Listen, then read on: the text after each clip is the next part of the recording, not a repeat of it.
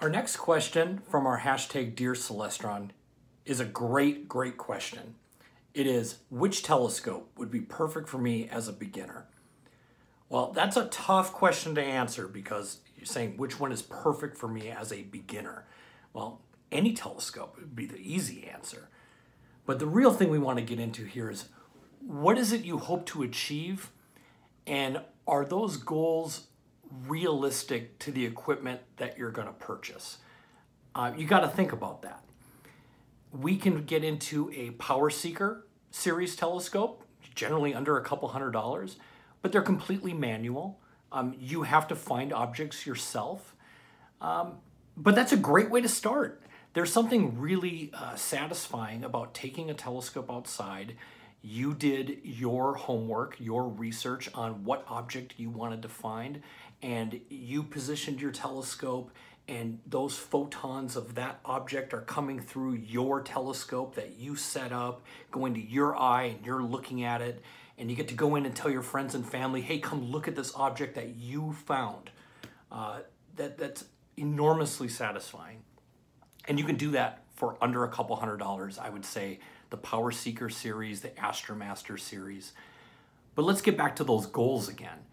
If you came in and said, well, I want a beginner telescope that I can hook up my digital SLR camera to and take nighttime shots, but I have a budget of $80.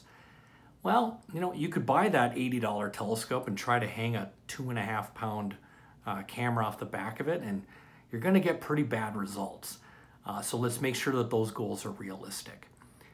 So after the Power Seeker and the Astromaster series, um, I tell everyone, then take a look at the Inspire series. This is a great manual telescope, very budget friendly. But after the manual telescopes, then we get into the computerized telescopes, and that's where Celestron's technology really shines. So if the budget is there, I tell everybody, look at the Nexstar SE series. Uh, they come in a 4 inch all the way up to an 8 inch. And I tell everyone, buy the biggest SE series model you can afford because these are amazing telescopes, completely automated, automatic tracking, automatic locating. Uh, they're really incredible. But for 2020, uh, what I'm really excited about now is, especially for the price point that you can get into these, is the new StarSense Explorer. There's one here in my office.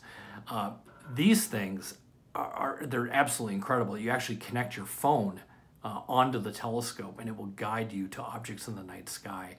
And uh, the prices for these are, you know, under $500. So think about the goals that you have for astronomy, the budget you have to work with, and are those goals matching up? Um, there'd be no reason I would tell anybody to not get into astronomy because I I don't have a large budget. Um, one of my favorite telescopes that we have, go and look this thing up, is our First Scope series. It is a little tabletop telescope, uh, very small, very portable. Uh, I have one upstairs. I should have grabbed it. Um, this is the telescope that I take out if I, hey, I just want to show somebody the moon because, hey, it looks pretty tonight. I can grab that in two seconds and, and, and have amazing visual experience. So there's no perfect answer for a beginner telescope, uh, but we have choices in a giant spectrum of price ranges that will achieve any goal that you're looking for.